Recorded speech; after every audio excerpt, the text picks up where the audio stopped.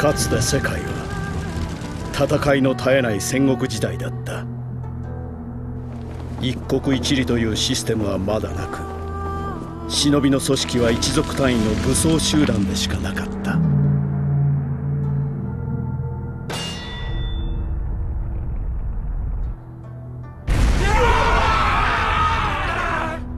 戦乱の世で物を言うのは力。内派一族は図抜けたチャクラと車輪眼を有した。戦闘一族として各国に知れ渡っていった。そして内派と双璧をなす最強と呼ばれた森の千住一族。その長で忍び世界の頂点と言われた千住柱間。内派と千住二つの一族は幾度となく戦った。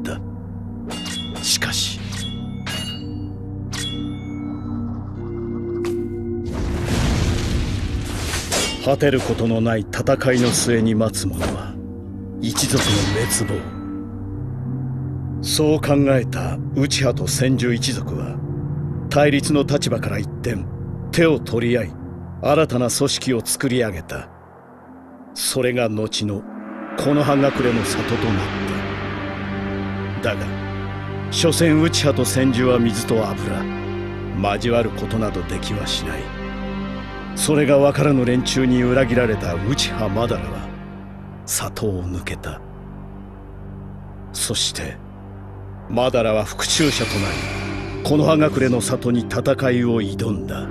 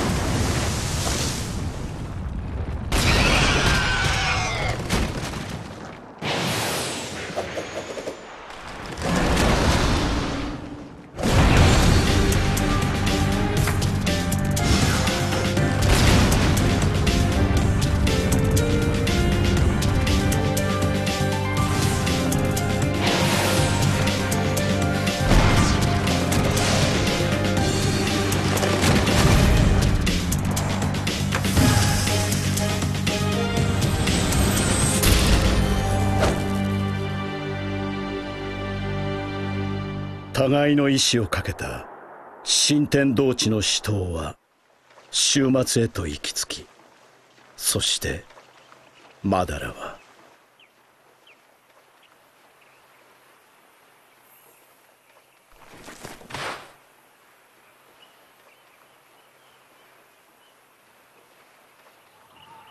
柱間に敗れた。